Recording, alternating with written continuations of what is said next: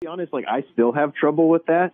Like we're Yeah. taking we're taking a break from playing shows for the year because I'm I'm I'm having trouble identifying that right now because like the pressure of writing an album and trying to you know live up to standards and expectations like makes that difficult Yeah. and it changes that and ultimately for me um, like for music ultimately i think you have to ask yourself like why you want to do it and like you said if the end goal is just to have fun and it's just to enjoy yourself like then you can't really fail. There's like you're gonna fall somewhere along the spectrum. And as long as you're having fun like it doesn't matter where whether that's professional playing for thousands of people every night or whether you're some person who just like plays guitar in their free time in their room by themselves. As long as you're having a good time that's what matters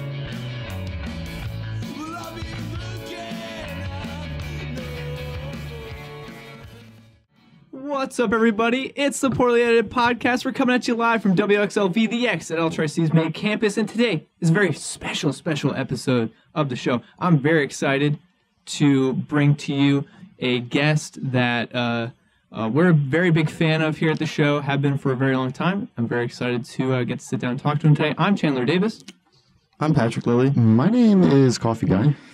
and we are here with Eric Butler from Mom Jeans, vocalist, guitarist, t- trombone player, everything. Dreamboat. hey How you doing, man? what's up hey everybody Thank you so much for taking some time out of your day to do this. Really appreciate it. Yeah. no worries ain't got much going on so You guys just got off tour, right?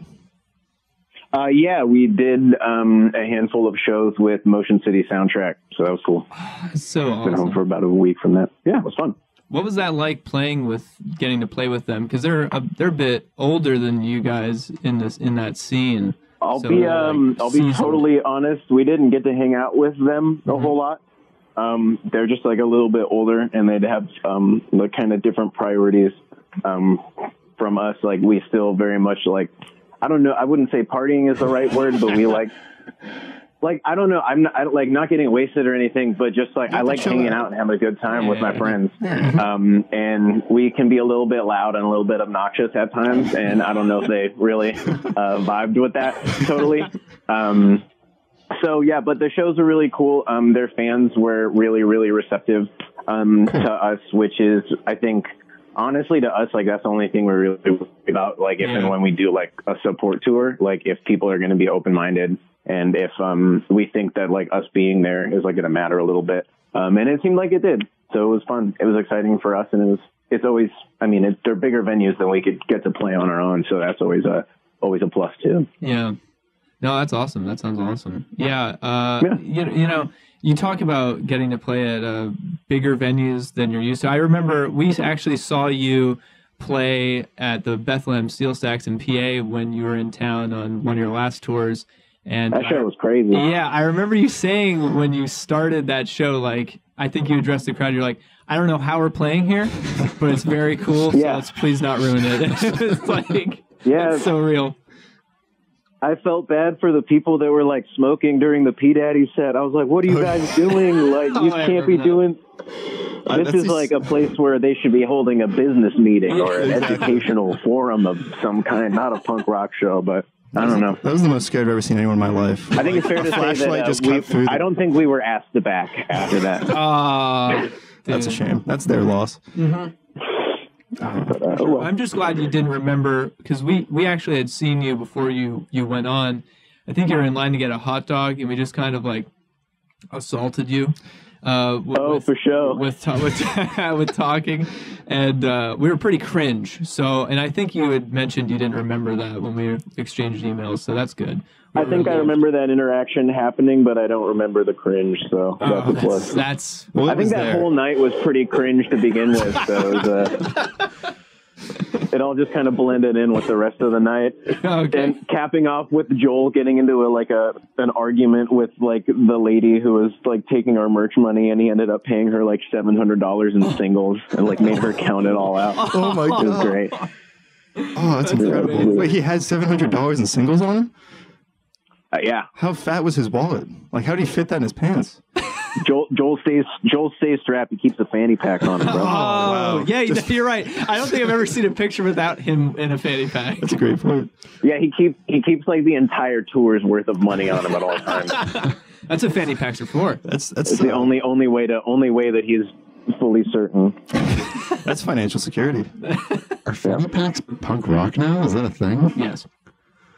Yes. Okay. What's up? I said, are, Uh, are, whoever just spoke, I can't hear you very well, so I'm Oh, sorry nice. about that. Okay. That's pro- that's for sure our fault. We've been having a problem with that mic in particular recently, so that's awesome. Um, Cool, but what was the question? I'm happy to Oh, answer our fanny Um, packs punk rock. yeah. I think was the very question. important. Oh yeah, sick. Yeah, Yeah, fanny okay. packs are, are. Dude, every punk rock band has fanny packs now.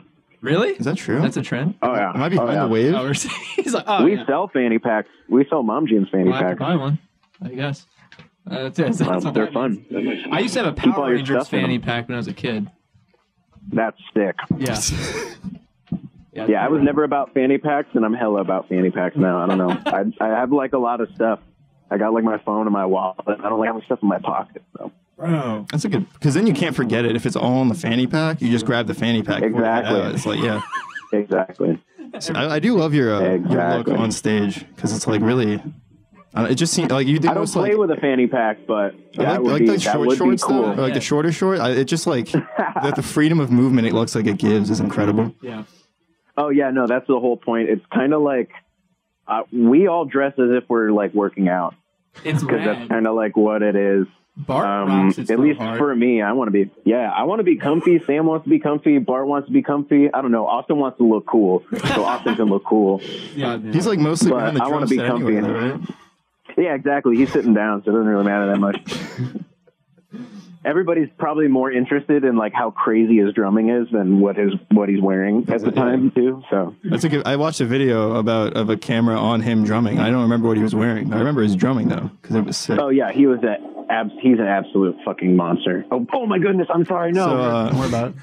Um, So let's talk about your early days uh, going to UC Berkeley, where you met Austin. Is that true? Yes, And so, yeah, we um, yeah, and so you guys put together your first EPs and started to really find your started to find your niche. But before that, you guys were band kids in high school, and that's where you learned Oh, the yeah. trombone. And Yeah. and so that's really your roots.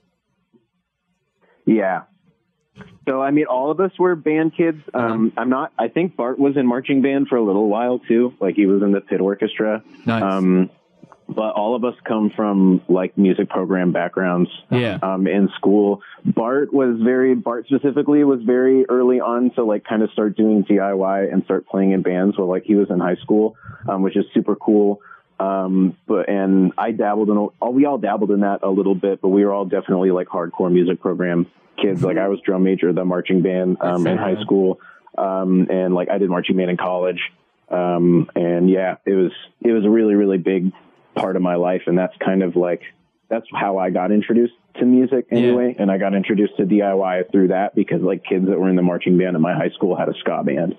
And I went to go see their ska band, and that's how I got started in all of this. Oh, that's crazy.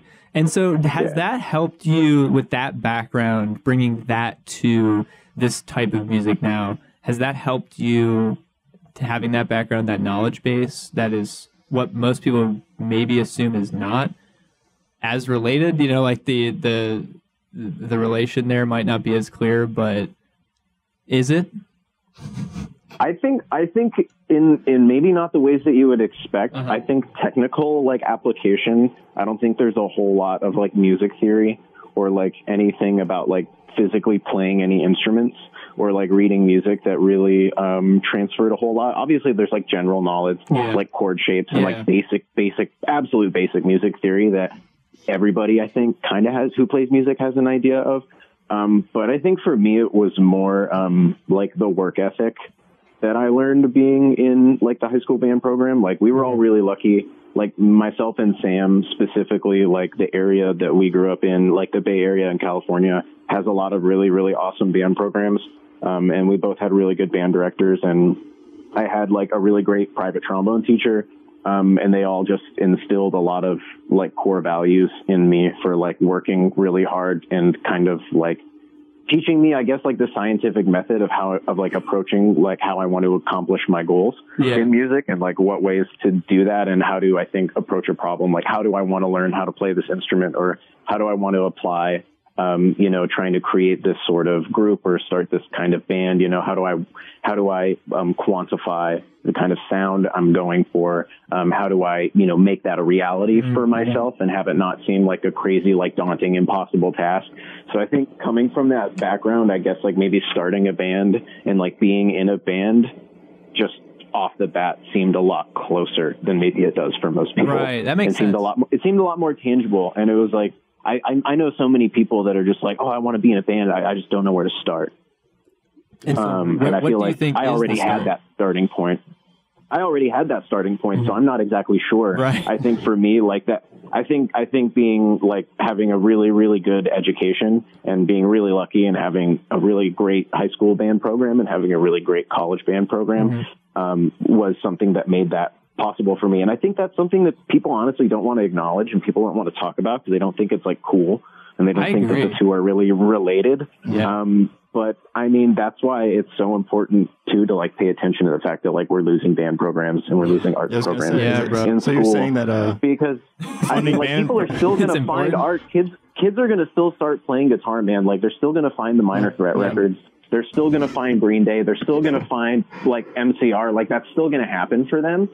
But as far as like making that a reality and being able to see themselves in a position where they're creating that music and they're doing that and it and, and it's good enough to be worth performing in front of people Yeah. um, specifically for um, you know the less privileged members of our community you know like women people of color queer people um, people who already don't see themselves in those positions Yeah. um, i think it's super important to like have that education and while it, that doesn't mean it's like impossible to, to do it without it. Obviously, there's so many people that have no formal music training um, that become incredible, like famous musicians. But I think for me, it, that's like a really accessible way to make it so just like easy and like not seem as hard to people.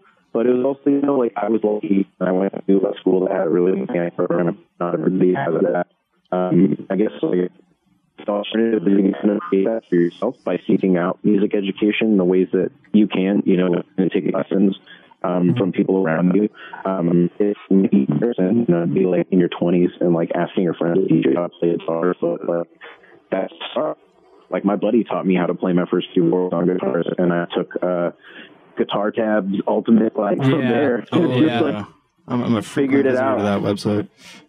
yeah, like I didn't I didn't take like formal guitar lessons because it didn't make me feel good. Like it made me did made me feel like it was going to be homework, and I didn't want that. I just wanted to um, explore. And like to be honest, like Austin, our drummer, like he taught me most of the things that I know um, Yeah, I- about the way that I play guitar now. Haven't you? I think Um, you, I've heard you say before that he used to write like complex guitar parts and then he'd dumb them down so you could play them. I- I, Exactly, said that yeah. interview at one point. Yeah, and he just he had an ear and he knew he like he knew how to noodle and I like did, I didn't know how to I didn't know how to do that and like Austin didn't like teach me how to play guitar but he taught me how to noodle on guitar and he taught me how to like mm-hmm. riff and he taught me just how to like come up with ideas and that's like I guess that's something kind of hard to explain like how you can get someone else to do that for themselves but mm-hmm. it like learning how to just enjoy making sound out of something and not even having to have a song, but just like, oh, that sounds cool, or like that chord sounds cool, and getting enjoyment out of that, taking it away from like, oh, I have to like play a song, or oh, I have to play this, or whatever. For me, it made it seem a lot more accessible, and it made it seem a lot more fun. And from there, like that was the foundation of like where my guitar playing came from. And after a while, it just became a matter of practice yeah. and you know realizing like what a pinch harmonic is and deciding that like i want to learn how to do those. So then Yeah. i practice pinch harmonics or realizing that like sam wrote a riff for the band that i want to play but i can't because i'm physically incapable of doing it and practicing the things that i need to practice to get up to that point. Um, so it's always like my being a good guitar player has always been driven or like trying to be a good enough guitar player has always been driven by like being in this band. And trying to be a good enough vocalist has always been driven by just like trying to be good enough to be in this band. And that for me for me has always and so like having the project to kind of like guide that has been really helpful, especially since like graduating college and high school, I don't have that structural like music education in my life anymore. Um, I like have to create it for myself. That Um, and that's and that's fun. Yeah, and that's and that's what's cool for me is just like learning how to break that all down and just like get a lot of enjoyment out of just like writing stuff that sounds cool. And Austin did that for me. Like he taught me how to do that. He taught me how to like I don't I don't know exactly how, but through through just hanging out a lot and uh, being not sober together for a lot of nights hanging out, um, you know, um, something for me just clicked with that, and it seemed Osmosis. in, inevitable that we were going to write songs together because half of the songs that I was writing were with chord progressions or with riffs that Austin had written and he had taught me. Um, because at the time, like those were really the only things I knew how to play, other than like ska chords, like Reel Big Fish songs. So, I think I know how he did it. I mean, as silly as it sounds, you were just having fun. You mentioned before that music lessons to you felt like homework. I think that's a serious. I think there's a serious problem that we have in the way we teach people how to play music and how to play instruments, Yeah. where we're mm-hmm. not teaching them to have fun first. We're teaching them stuff that's important and that they need to learn too early, and it's too complicated. I, I've heard it described once as like you don't teach a baby how to spell milk before it knows what milk is. That doesn't make any sense. Yeah. like yeah. you know, it's it's like a superpower to be able to sit there and be like struggling through a piece of theory and have a Yeah. hard time, and then just stop and then just have fun for a little bit and then come back to it. If you can't do that, Yeah. you're just going to stop playing and you're never going to play the guitar or whatever it is you want to do. Oh, do. exactly. You're going to be one of those people who's, oh, it's too hard. I just couldn't Yeah. figure it out. Like I wasn't, I wasn't enjoying it. And like, I'll be honest, like I still have trouble with that. Like we're Yeah. taking, we're taking a break from playing shows for the year because I'm, I'm, I'm having trouble identifying that right now because like the pressure of writing an album and trying to, you know, live up to standards and expectations like makes that difficult Yeah. and it changes that. And ultimately, for me, um, like for music, ultimately, I think you have to ask yourself like why you want to do it. And like you said, if the end goal is just to have fun and it's just to enjoy yourself, like then you can't really fail.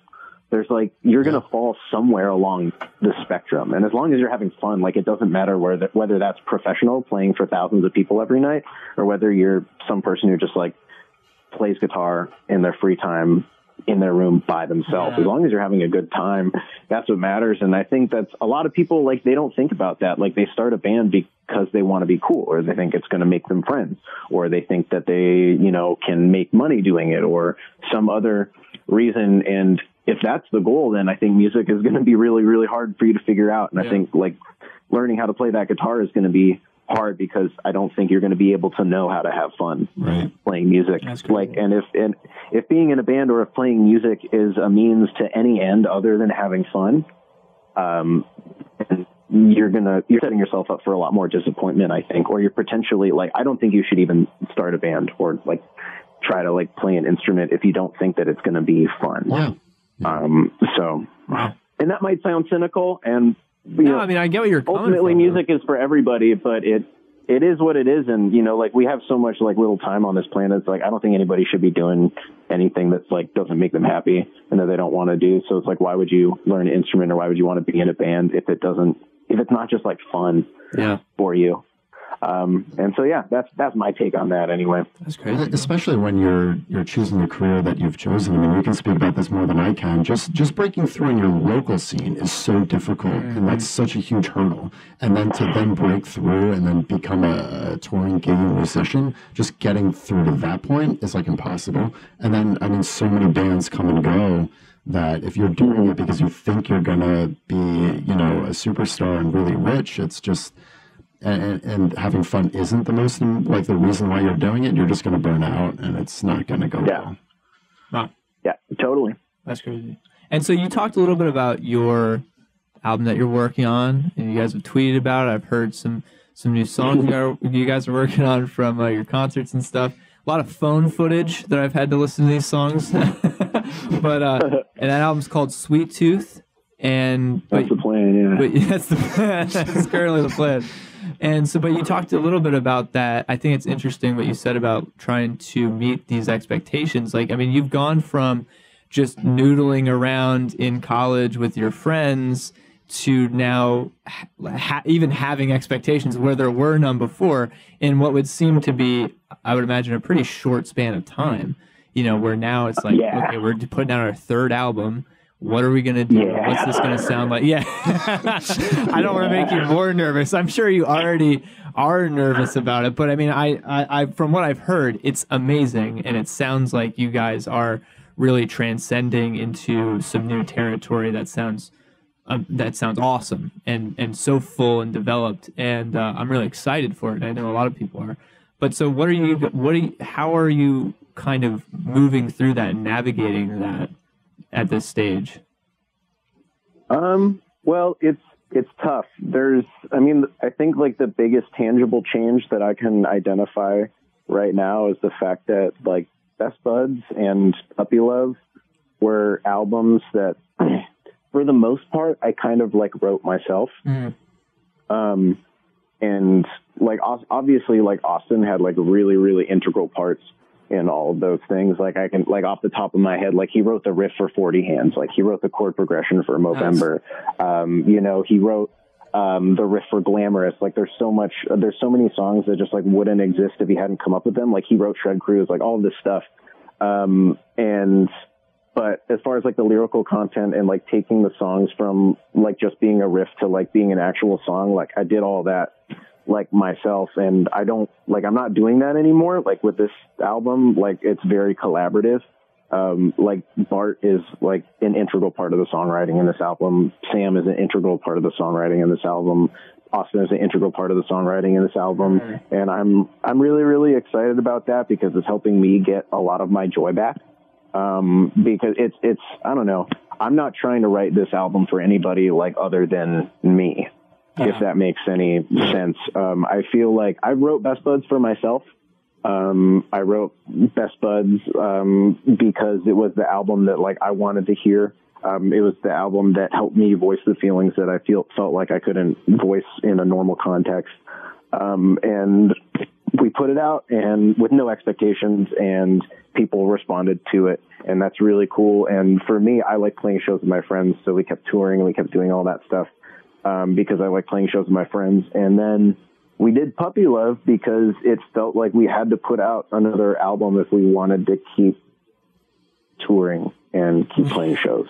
That's crazy. Um, and I think in, in hindsight, I think I allowed myself to get like kind of caught up in the, oh, we want to like sign to a label and oh, we want to do this because uh, we were fresh out of college trying really, really hard not to get jobs um, and trying to tour and trying to, you know, for me, trying to prove to my girlfriend and to prove to my family that it was like real and it was happening and that I could do it. Um, and there's a certain amount of this like DIY sh- stuff that just like it doesn't work um, unless you just get in the van and do it. Um, Yeah. And you need time to just get in the van and do it. And with that, there's like a lot of risk involved. Um, and you look for a guarantee and you look for a promise. You look for somebody to come in and tell you like, Hey, if you just keep doing what you're doing, like we're going to pay your bills and you're going to be, you're going to be okay. Um, and I think there was a piece of us that was looking for that. And puppy love was kind of supposed to be, or we allowed ourselves, I allowed myself to get caught up and kind of like put out an album faster than I was ready to put out an album and kind of just like write something to get it out. And I didn't really think about whether or not I liked the songs that much. And I didn't think about whether or not I resonated with what I was writing. Um, I thought more about whether other people would. Um, and that's like, that's not a headspace that I want to be in anymore. Yeah. Um, because ult- ultimately, like, I love sharing music and I love sharing my music with other people, but it's, um, it's, it's mine, you know what I mean? And like, I have to do it for me and I have to, um, I have to ultimately like be selfish and think about the things that I want to think about. And I tried way too hard to make an album that sounded not the way I ultimately wanted it to sound. And I think I just like put all of these like really weird, impossible restraints on myself. Um, I allowed communication between myself and Austin to deteriorate. I allowed, you know, communication between myself and Bart to deteriorate. And, um, you know, everybody was trying to be really polite and not step on anybody's toes. Um, and I think with this album, like I just, I'm not thinking about any of that stuff anymore. Obviously, in the back of my mind, I would really like to have um, new music out as soon as possible. Yeah. Um, but the reality of the situation is like I'm not gonna, we're not gonna release anything until we're like completely and utterly satisfied, and we we just like we're not gonna release anything until we're ready. And like right now, we're just like we don't feel ready, and we're doing a lot of time. We're spending a lot of time like working on ourselves and figuring out what we want. Um, and um, we have songs, which is cool. Um, and I don't know if those songs are going to six months from now. And when you put out an album, like that's forever. Yeah. Exactly. You know what I mean? Exactly. And ultimately, like I'm really proud of the fact that myself, the members of my band, um, you know, Joel, um, other people, you know, Jake from Counterintuitive, like everybody that's kind of like become a part of this village, because like it really does take a village to like support a band and to make something like this work. Um, we've built an incredible infrastructure um, for like getting to do things on our terms. Um, Yeah, as far as really touring and doing merch. Um, you know, like I don't uh, ultimately like man, like I don't answer to anybody. Um, and that's that's like the biggest goal at the end of the day to me. Like I care what our booking agent thinks. I care about his opinion because he's a very very smart guy and he's really really good at what he does. But ultimately, if we disagree, I'm going to do what I want, and I'm going to do what I think is going to make me and my three best friends the happiest. That's what I care about. And ultimately, like I didn't, that didn't translate into the writing, and that wasn't true for how I felt about writing for like the last few years um, since like Best Buds came out. And I'm trying to fix that, and I'm trying to get back to a point where I feel like I can just do whatever I want and like trust myself. And uh, that takes work, and it takes a lot of it takes a lot of unlearning um, to do that, and it takes a lot of um, you know, like I'm not a very confident person. I'm a very insecure person. I'm a very withdrawn person. Um, and being in this band and making this machine work has forced me to like go against a lot of that and really come out of my shell and like kind of um, put on and like create this personality for myself that didn't exist before. I feel that. Um, and it's a it's a weird way to live your life. And I feel like I've just I haven't been living for myself, and that's like a weird place um, to be in, um, especially when you you know you have people like walking up to you and being like, "Oh, like I so resonate with like you wrote this or like that." And I'd, I'd really like to be able to um, like be present in that moment and really be able to feel like I still resonate with those things and feel like I still agree with those things. And that's something that I'm trying to think about with this album, and that's something that I'm trying to think about for the future. Um, and yeah, because ultimately, like whether it's my job or not, I don't really care. Like I just know I want to be in this band forever. Um, Yeah. I'm ultimately like not, I'm not really concerned if it keeps paying the bills forever. Um, I, I'm, I'm, I'm a, I'm a smart kid. Like I'll figure something out. Like everybody else in my band are very, very smart and very, very capable. If, if Mom Jeans like stops paying the bills like one day, like cool. Like that's fine. I'm not worried about that.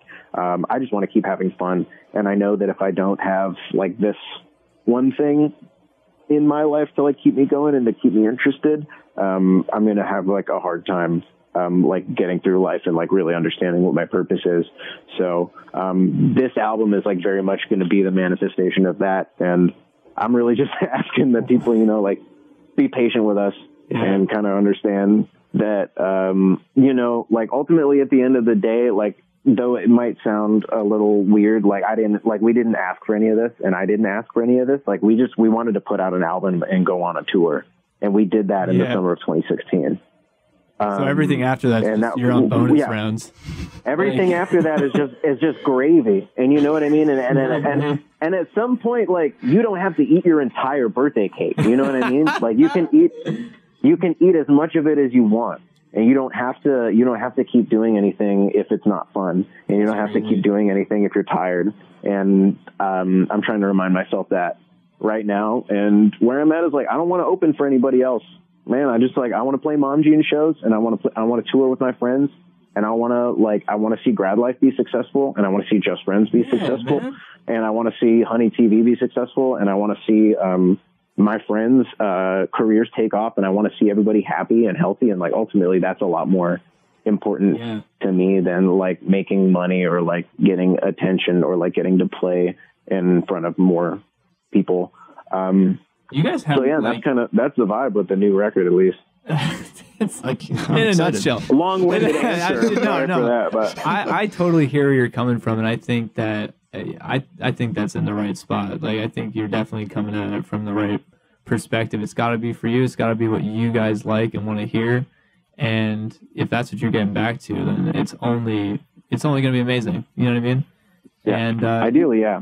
you guys have an amazing support system uh, with each other. Uh, all the bands that have each other's backs out there, like Rad Life, like P Daddy, like Just Friends. You know, all even though you guys aren't all in the same exact uh, geographical location, for you guys to have such a network uh, like Honey TV, which by the way, we've we've seen the lore chart and it's a bit hard to follow. I, I can't even I can't It's even It's a lot. it's a lot. but, a but lot. it definitely seems like you guys like you know, I, I really loved what you said about really all you care about seeing is everyone else be successful and all your friends be successful and have a great time because it's like if you guys are, are doing that what's the what else is there you know what i mean if you can have Yeah. that it's like you don't need anything else that's what it's all about Mm-hmm.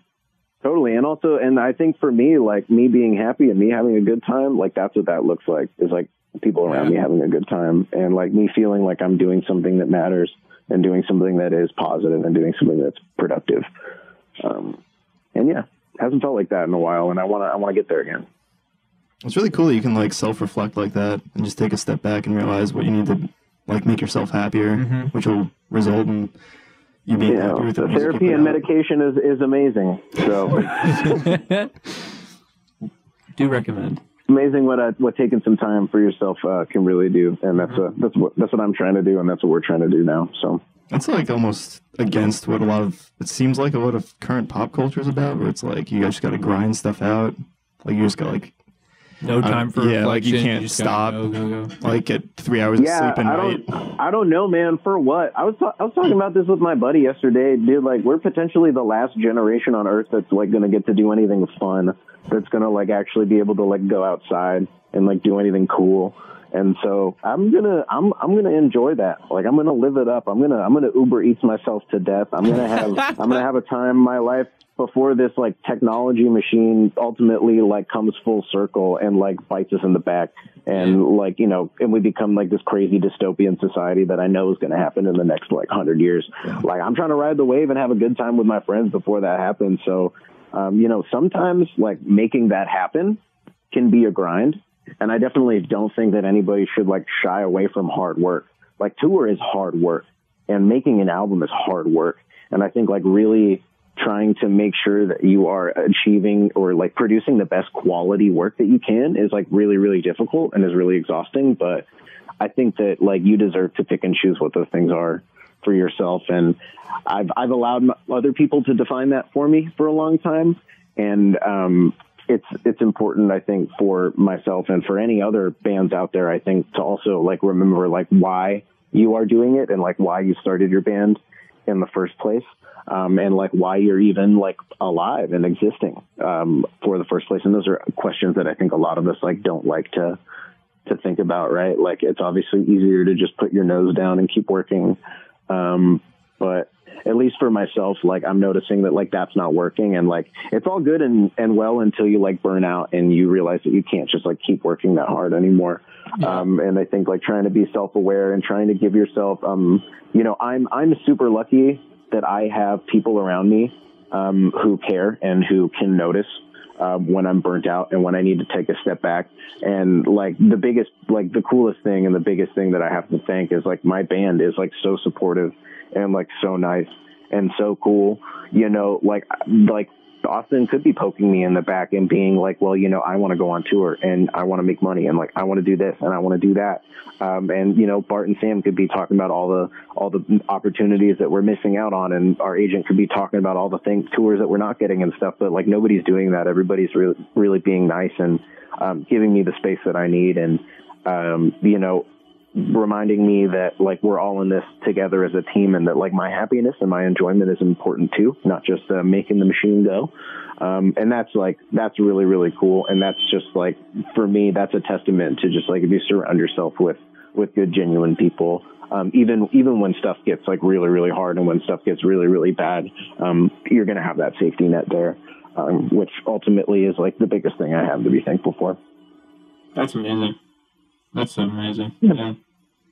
Wow.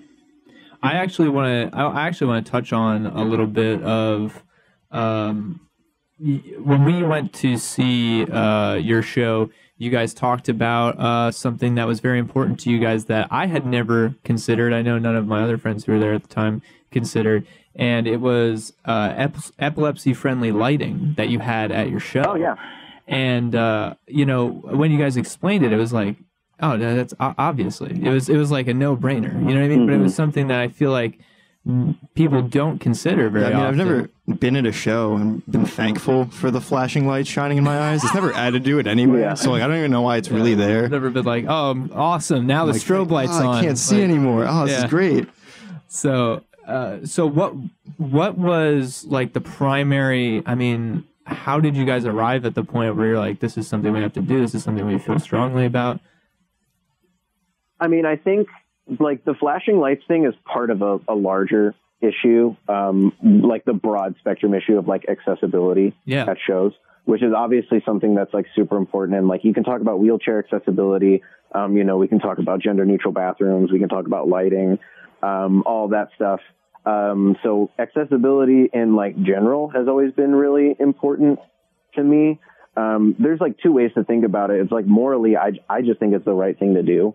Like if I, if I was someone who was differently abled and like, you know, had difficulty walking or like couldn't handle stairs, um, or if I was somebody who was, you know, trans and not comfortable using either bathroom, um, you know, that would be important to me. And those would be reasons why I wouldn't want to go to a show. And I wouldn't want somebody who likes our band to not be able to come see us because of a dumb reason like that. Like, I think that's just like a really bad reason for somebody to miss your show, you know? Um, Yeah. or, or bad reason for somebody to just like not have a good night. Like, that's a Yeah. night ruiner, you know? And that's just like, it takes, and it's like, it's traumatic for some people. And I just want to prevent that.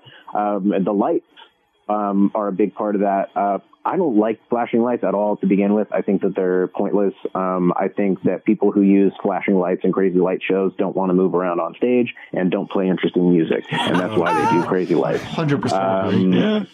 So if you are um, old and tired and you want to just stand up there and not move around and have your stage still look cool, that's fun. This is your However, um, bro yo you know what man if if hip-hop artists can have an empty stage with one dj and one guy on a mic and like put on an interesting show and still be animated and still be exciting and not have to do crazy lights like your your freaking punk band doesn't need strobes Yeah. well, you well, there's the hip hop. It's it's either know what I mean? it's either two dudes or it's thirty five people and, and, uh, on stage and, they're, and now- they're wilding.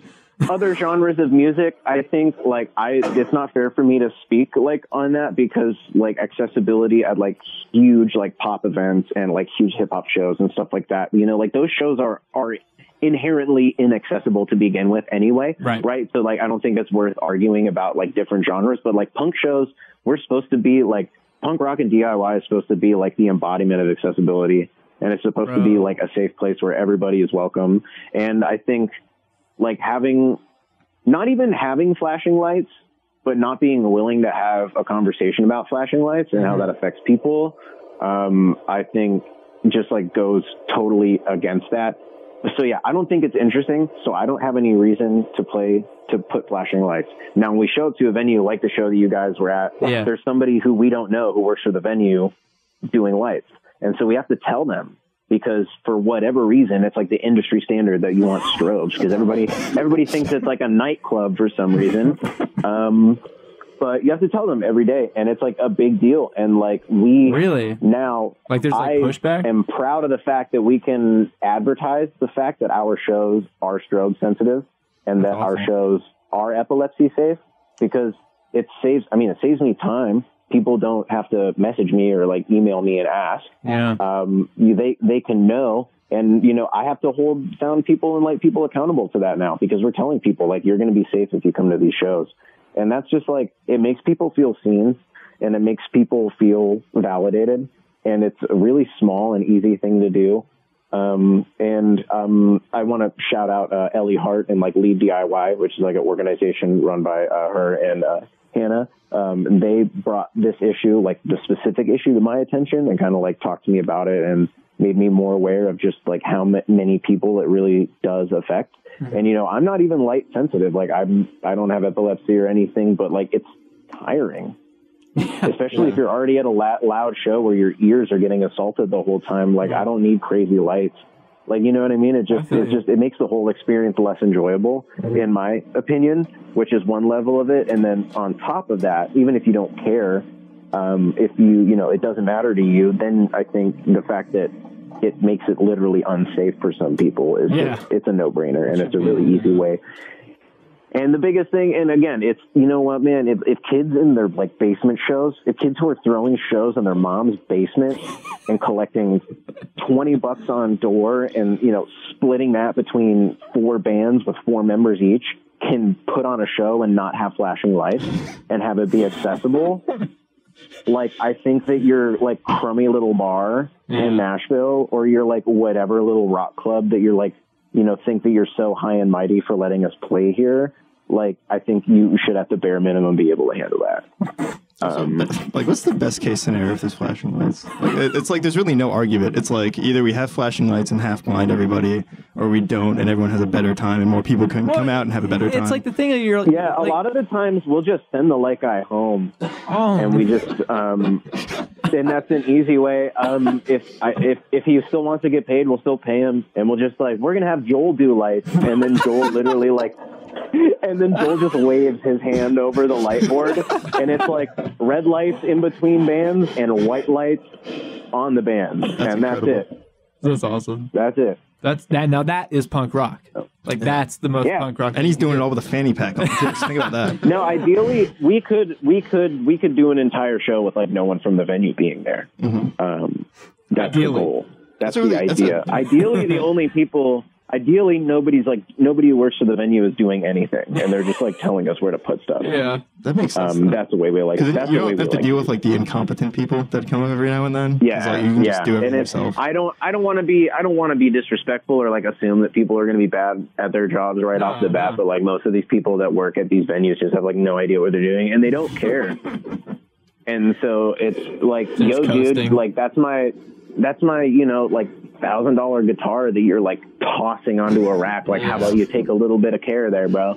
So I don't like people touching my stuff. Like I'm a little bit OCD about that, and I just know that. So we try and keep things as in house as possible, and it's just like it it prevents a situation where like I have to like say something into the mic or be like, you know, like, hey man, how about you stop flashing those freaking lights Yeah. in front of a room full of people, and then create this uncomfortable, you know, confrontation Yeah. that's not fun for anybody. It's like So- you said, it's all about having fun. And if the, it's about you Yeah. having fun on stage and the audience is having fun in the crowd, and like that's what it's all about. Yeah, So and, and I can't I can't have that. fun if I feel like people's safety is in danger. And it's the same deal. Like if a, if a security guard is like roughing somebody up or there's a fight in the pit, like you stop the show Yeah. right? Yeah. because like people's ultimately people's safety is like more important than like your little rock band. Yeah. Like I, I I feel that I feel that people's safety is ultimately like more important than like me getting to play my song. So like we can always we can always click click click and start over. You know what I mean? Like you can always start the song over.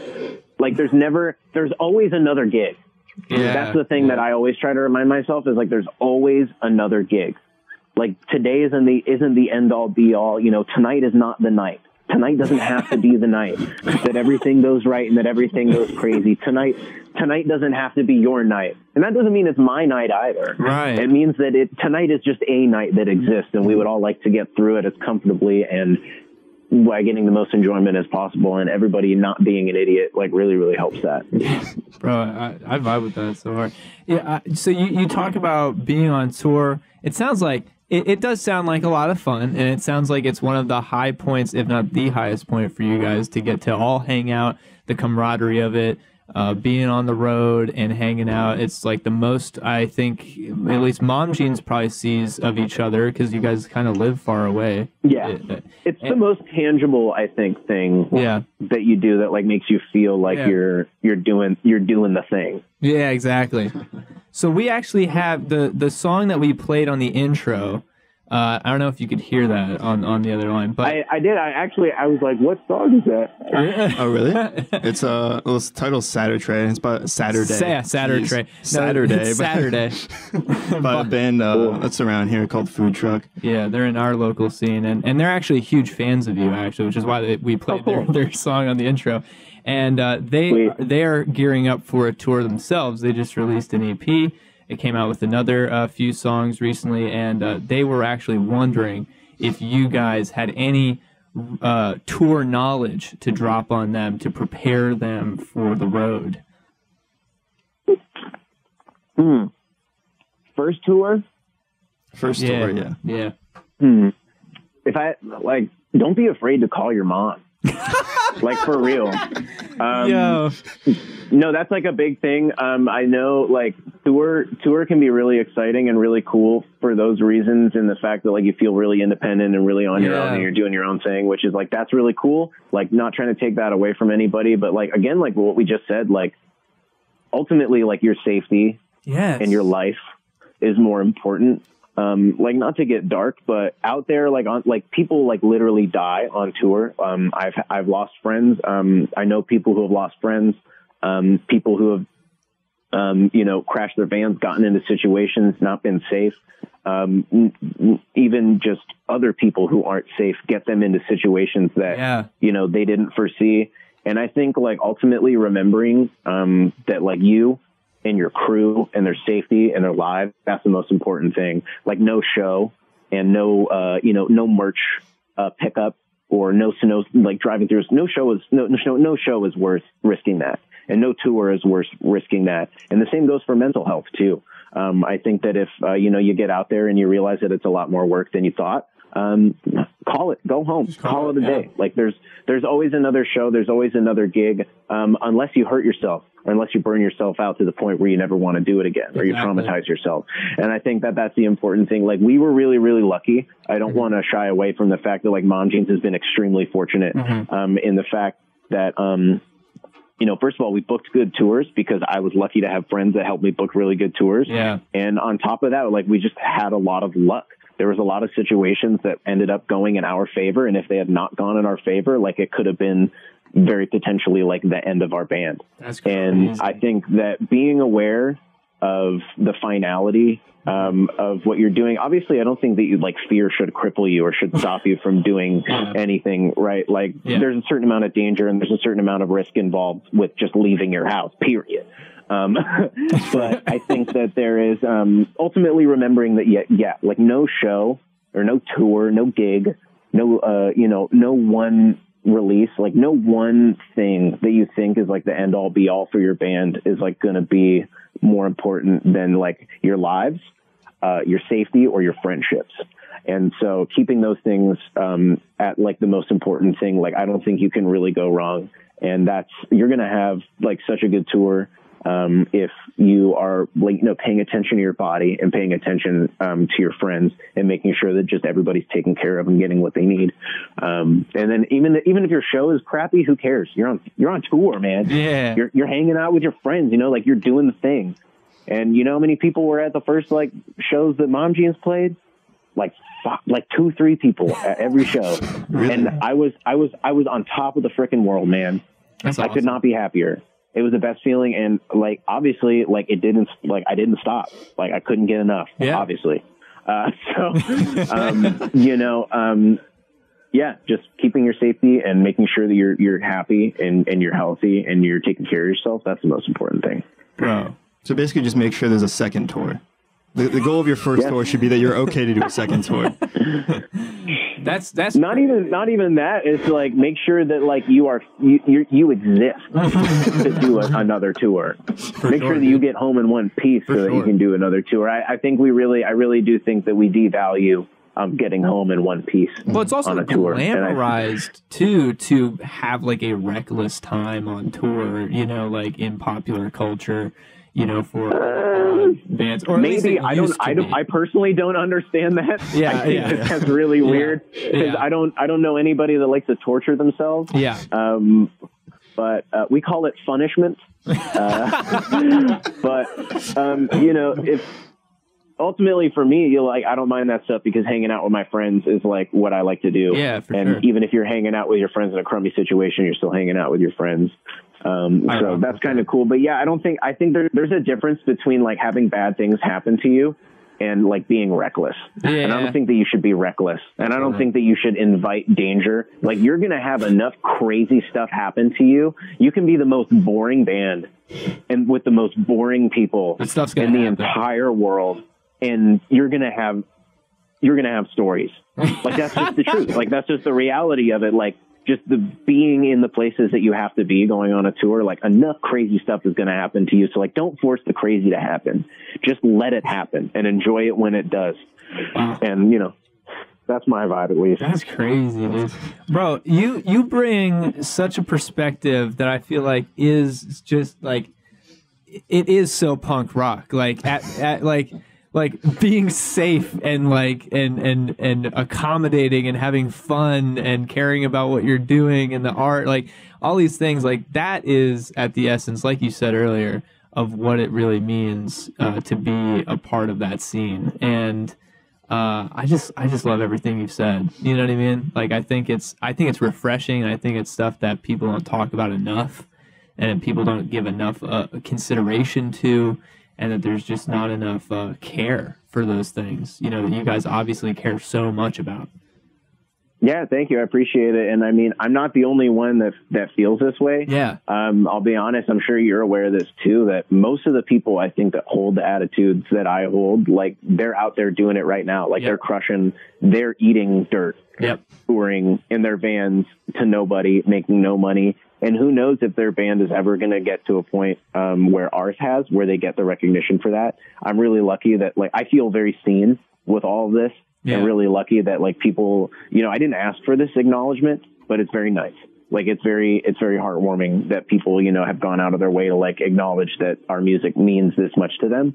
Um, but most bands like never get there um, I think of even you know bands that are you know the next generation, like the kids that are coming up behind us, you know, like like Origami Angel and Short Fictions and like those bands, um, like those kids like have the, those same attitudes too, and like those are their morals as well. Yeah. Um, I just really I think most people when they get to the point where they actually start to get recognition for that, they're just so burnt out and they're so bitter and they're so jaded that they don't um, they don't the only way that they've been able to survive it is to prioritize making money or to prioritize the few things that they've been able to get out of their band that they still get. Um, and it's hard to, it's hard to like keep looking at the big picture all the time. And like I said, you know, like that's why we're taking a step back now. Um, Yeah. is because I don't want to, I don't want to be 10 years from now looking back, um, realizing that I'd, I'd been a jerk to everybody and that I, um, you know, um, that I wasn't able to, um, at least like because it's it's so easy to just like be honest and to be open and to like have a good attitude um it's just like you get so exhausted and it feels like the whole world is against you when you're trying to do this. Yeah. and i'm sure that's how every band feels. And but i'll be honest with you like that little bit of like care and that really like feeling like you're a part of something that's bigger than yourself like i think i think that's literally like the true meaning of community the true meaning of like social interaction, the true meaning of um, like feeling part of a family. Um, those are the things that exist in the music industry or still exist in parts of the music industry that I don't think really exist anywhere else in the capitalistic world. Um, and that's why I think it's so important for me that I've like found music and it's so important for me to like not let myself get swept up into that other stuff.